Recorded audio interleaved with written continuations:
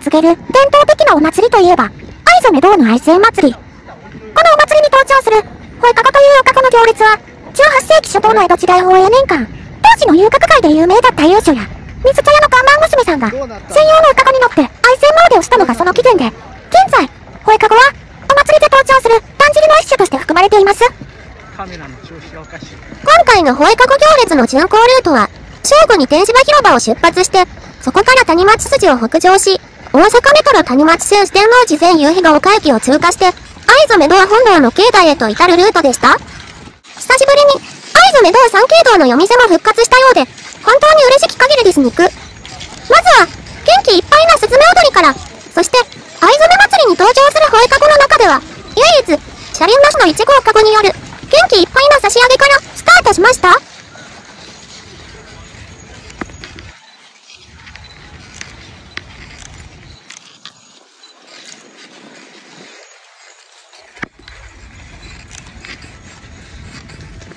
ト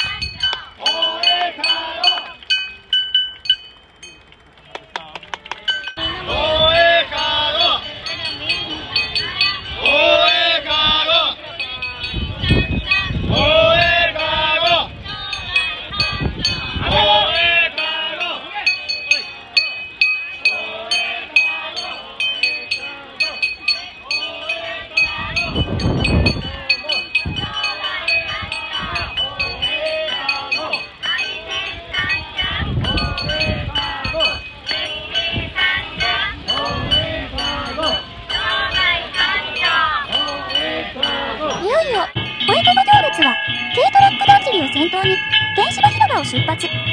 可愛らしい愛犬娘の皆さんの掛け声を街中に、小雨の空に響かせながら、谷町筋経由で、藍染堂までの1時間の旅です。「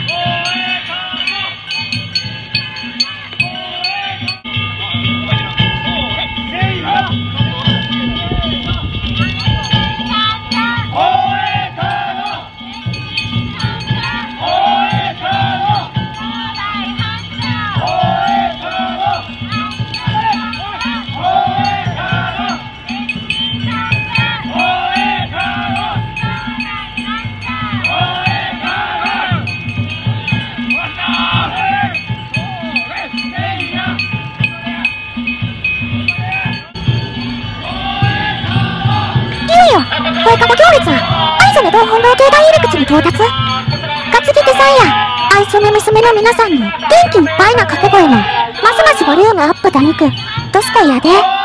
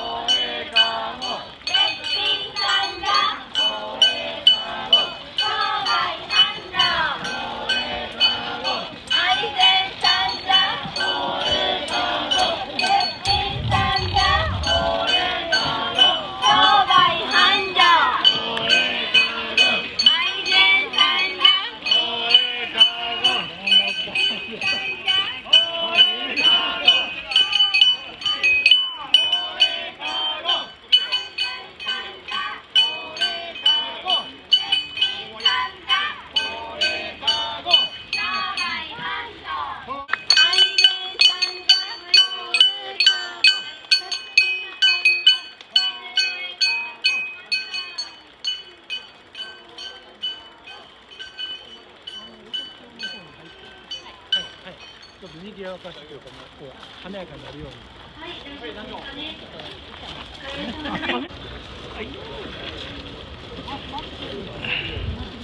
それではカゴ上げ行いたいと思います。徳森さん頑張ってください。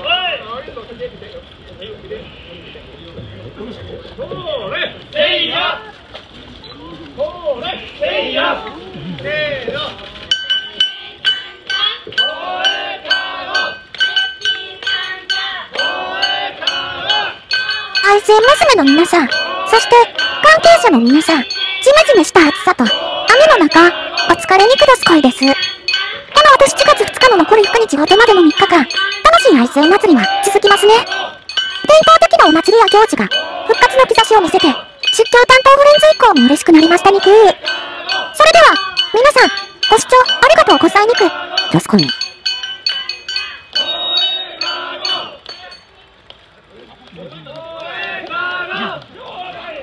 一番目ありがとうござい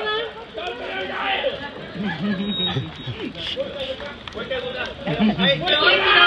う